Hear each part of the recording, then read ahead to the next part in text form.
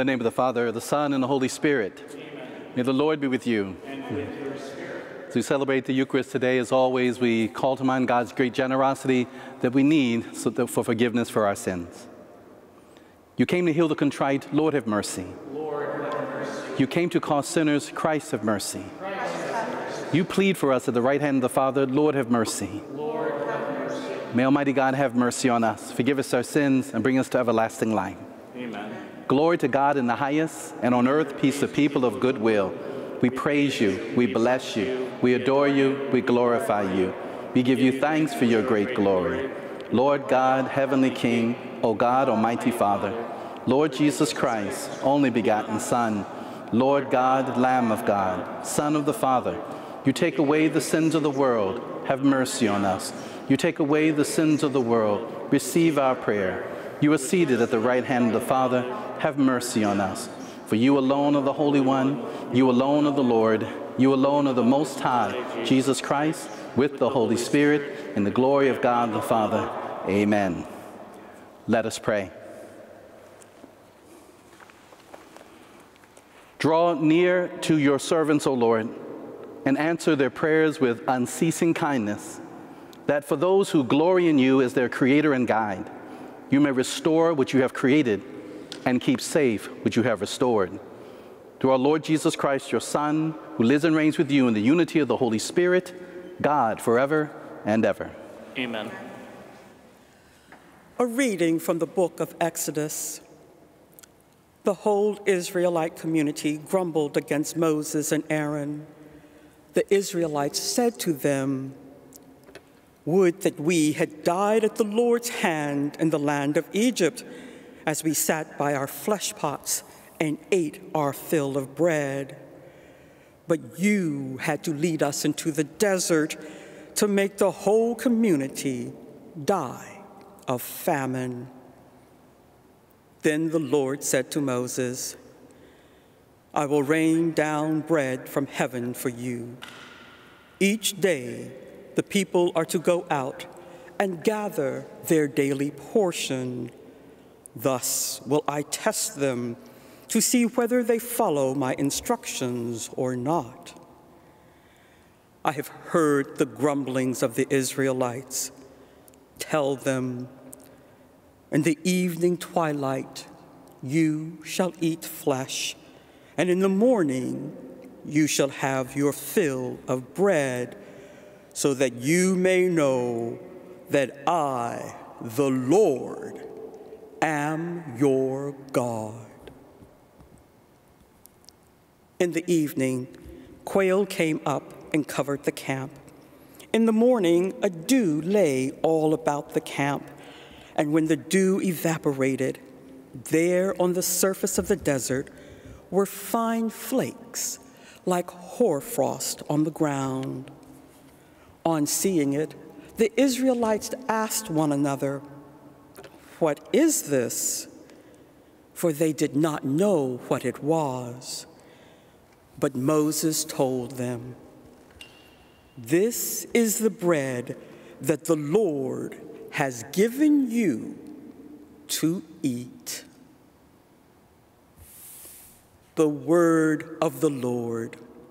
Thanks be to God.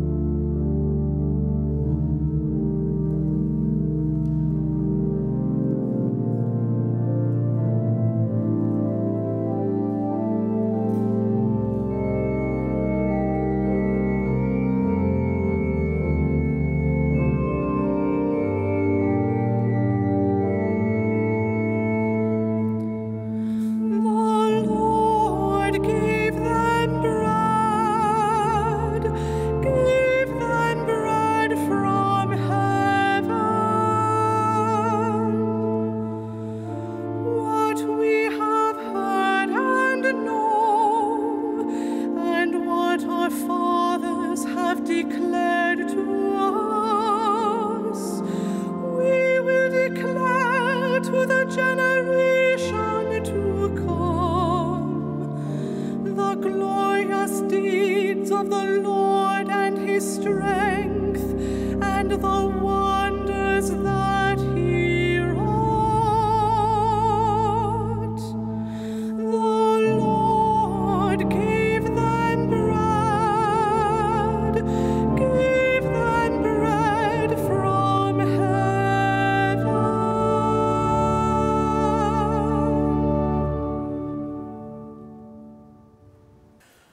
A reading from the letter of St. Paul to the Ephesians.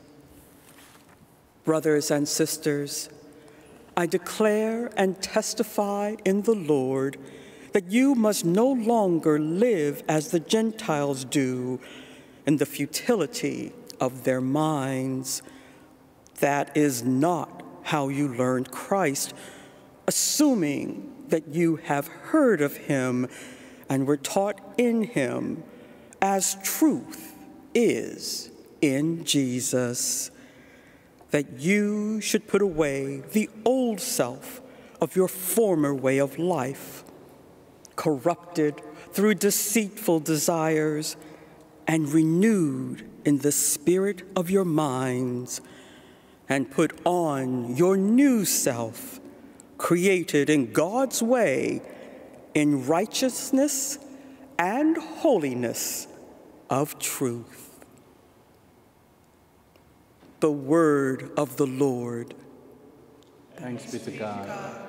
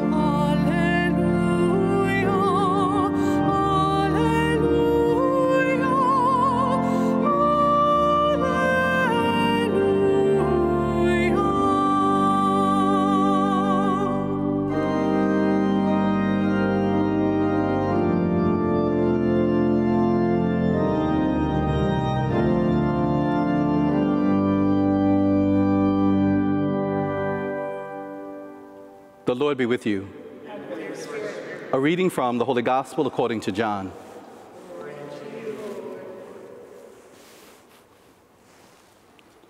When the crowd saw that neither Jesus nor his disciples were there, they themselves got into boats and came to Capernaum looking for Jesus. And when they found him across the sea, they said to him, Rabbi, when did you get here? Jesus answered them and said, Amen, amen, I say to you, you are looking for me not because you saw signs, but because you ate the loaves and were filled. Do not work for food that perishes, but for food that endures for eternal life, which the Son of Man will give you. For on him the Father, God, has set his seal. So they said to him, What can we do to accomplish the works of God? Jesus answered and said to them, This is the work of God, that you believe in the one he sent. So they said to him, What sign can you do that we may see and believe in you? What can you do? Our ancestors ate manna in the desert. As it is written, He gave them bread from heaven to eat.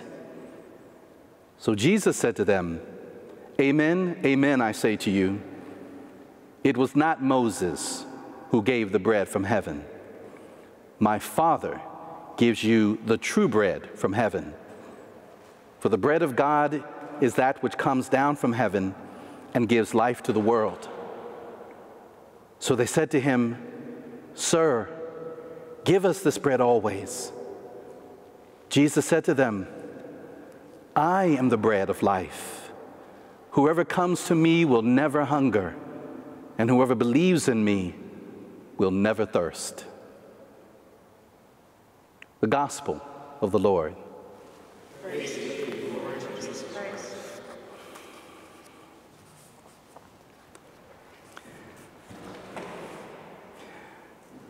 Someone once said that, uh, I guess there are two opinions adversity uh, strengthens character.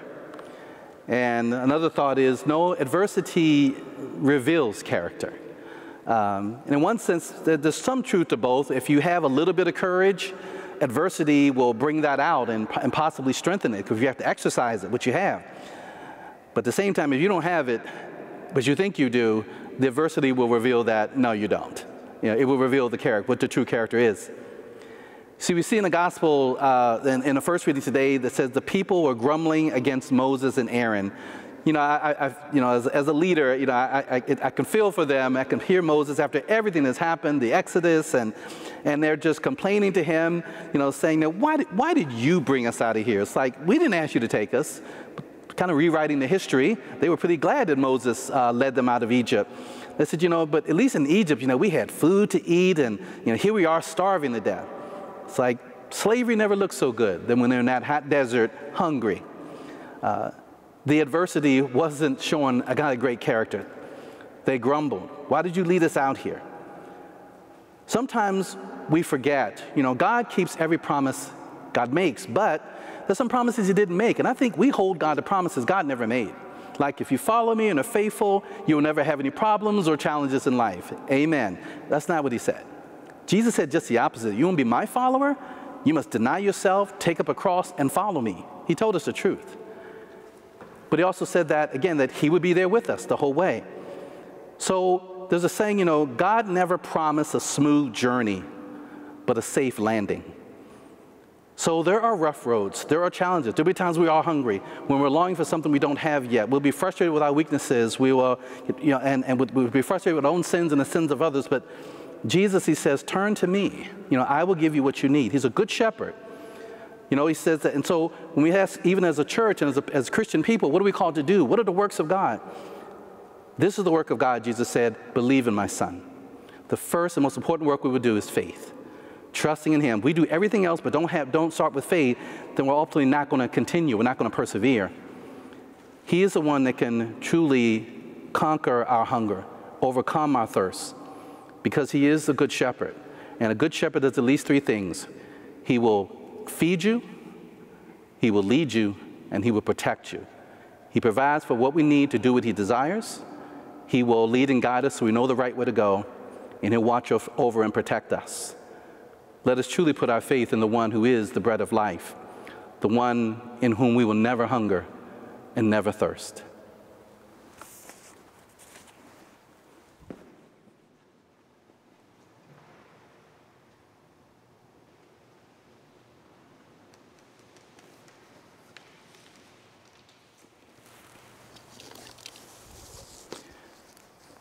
Let's now profess our faith.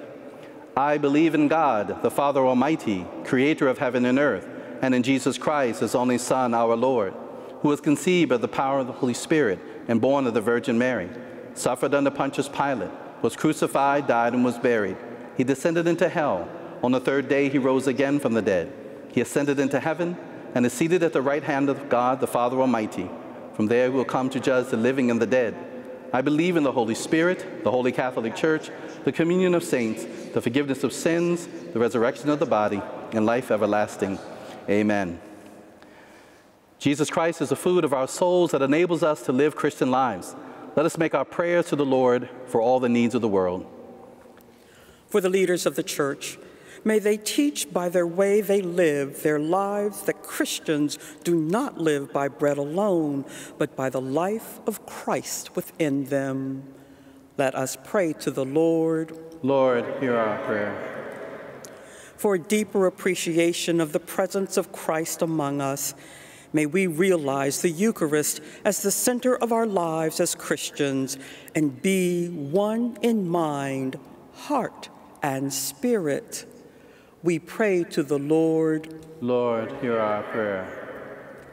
For an openness to life within the sacrament of marriage and an increase in vocations to the priesthood, religious life, and the permanent diaconate. We pray to the Lord. Lord, hear our prayer. For all those in our Sunday TV Mass community we remember and especially pray for our friends and benefactors who generously help make this ministry possible. We pray to the Lord. Lord, hear our Good and gracious God, we thank you for always hearing our prayers, those we've voiced aloud and those in the hearts of all who are listening. Hear those prayers and answer them through Christ our Lord. Amen.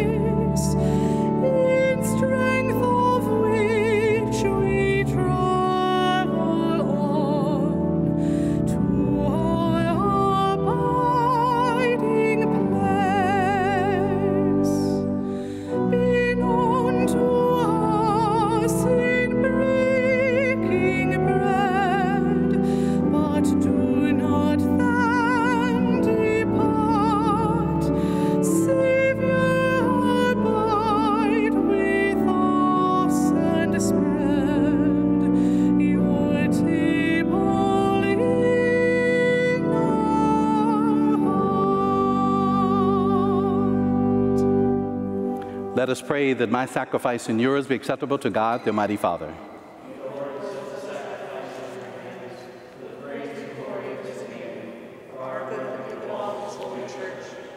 Graciously sanctify these gifts, O Lord, we pray, and accepting the oblation of this spiritual sacrifice, make of us an eternal offering to you through Christ our Lord. May the Lord be with you. Lift up your hearts. Let us give thanks to the Lord our God. It is truly right and just, our duty and our salvation, always and everywhere to give you thanks, Lord, Holy Father, Almighty and eternal God. For you so loved the world that in your mercy you sent us the Redeemer to live like us in all things but sin, so that you might love in us what you loved in your Son, by whose obedience we have been restored to those gifts of yours, that by sinning we had lost in disobedience. And so, Lord, with all the angels and saints, we too give you thanks as an exaltation we acclaim.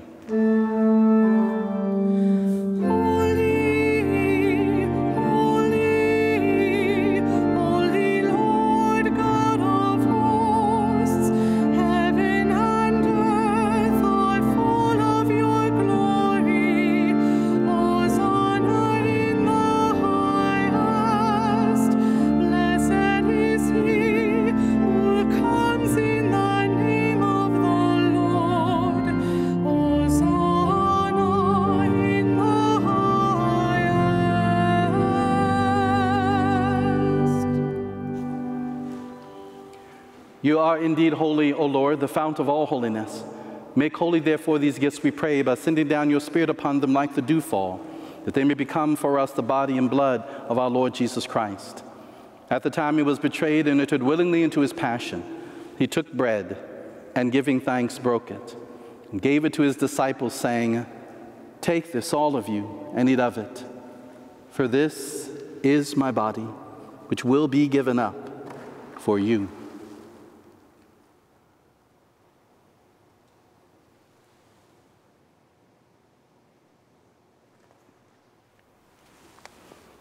In a similar way, when supper was ended, he took the chalice and once more giving thanks, he gave it to his disciples, saying, Take this, all of you, and drink from it.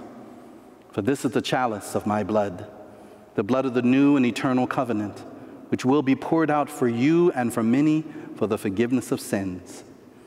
Do this in memory of me.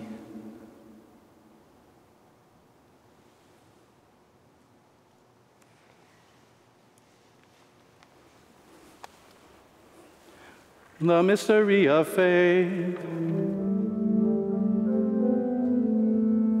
When we eat this bread and drink this cup, we proclaim your death, O Lord, until you come again. Therefore, as we celebrate the memorial of his death and resurrection, we offer you, Lord, the bread of life and the chalice of salvation giving thanks that you've held us worthy to be in your presence and minister to you. Humbly we pray that, partaking of the body and blood of Christ, we may be gathered into one by the Holy Spirit. Remember, Lord, your church spread throughout the world and bring her to the fullness of charity, together with Francis, our Pope, and Wilton, our Bishop, and all the clergy. Remember also our brothers and sisters who've fallen asleep in the hope of the resurrection and all who have died. In your mercy, welcome them into the light of your face. Have mercy on us all, we pray, that with the Blessed Virgin Mary, Mother of God, with Blessed Joseph, her spouse, with the blessed apostles, and all the saints who have pleased you throughout the ages, that we may merit to be co heirs to eternal life, may praise and glorify you through your Son, Jesus Christ. Through him, with him, and in him, O God, Almighty Father, in the unity of the Holy Spirit, all glory and honor is yours forever and ever.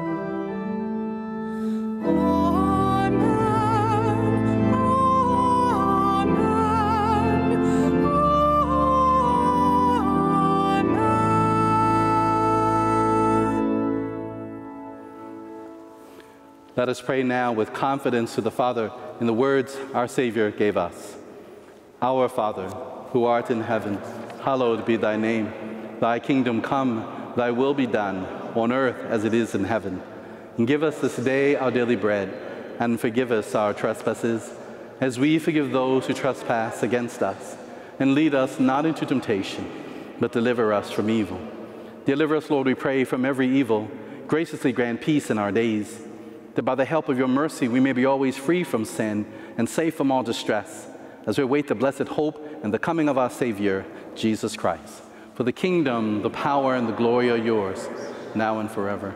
Lord Jesus Christ, who said to your apostles, Peace I leave you, my peace I give you. Look not on our sins, but on the faith of your church, and graciously grant her peace and unity in accordance with your will, who live and reign forever and ever. May the peace of the Lord be with you always. Lamb of God, you take away the sins of the world. Have mercy on us. Lamb of God, take away the sins of the world. Have mercy on us.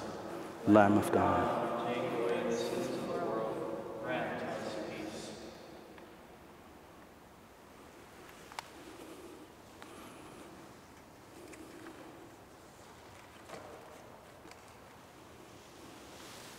Behold the Lamb of God. Behold him who takes away the sins of the world. Blessed are those called to the supper of the Lamb. Lord, I am not worthy you should enter under my roof, but only say the word, my soul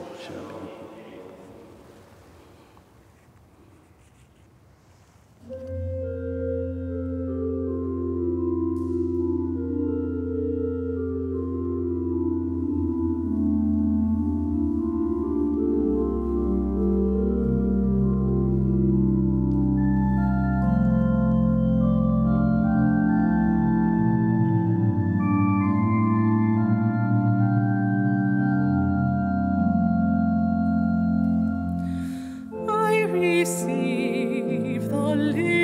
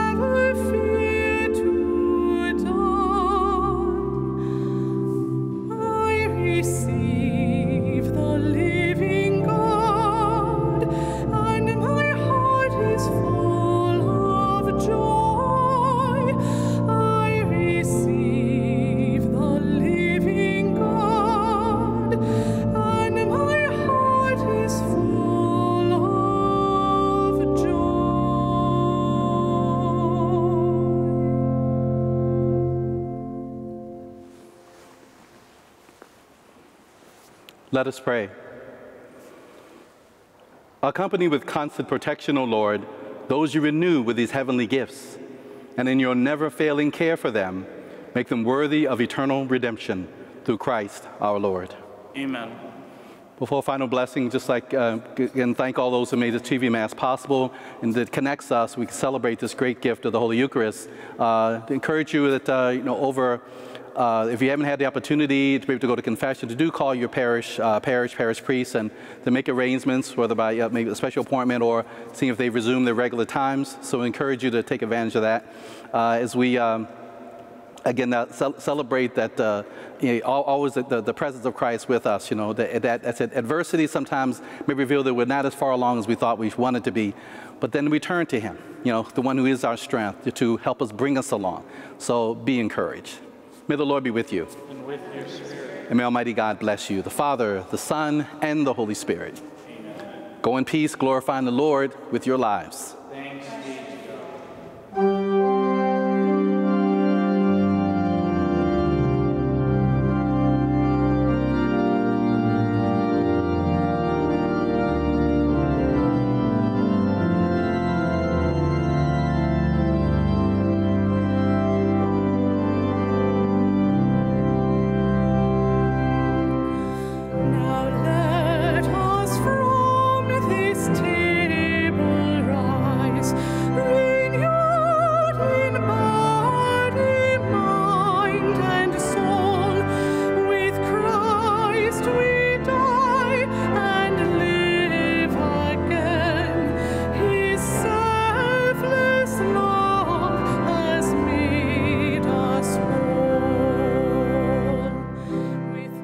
If you cannot attend Mass and would like to receive the Eucharist at home, please contact your parish directly. To help support the TV Mass from the Basilica, call 1 866 507 8757 or visit faithdirect.net slash basilica TV Mass.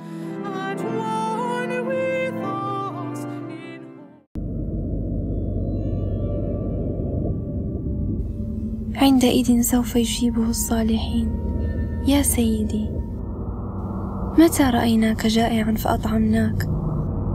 أو عطشانا فرويناك؟ متى رأيناك غريبا فاستضفناك؟ أو عاريا فكسيناك؟ متى رأيناك مريضا أو سجينا فزرناك؟ الملك سوف يجيب. حقا أقول لكم. كل ما فعلتموه مع أحد من هؤلاء الإخوة والأخوات فعلتموه من أجلي.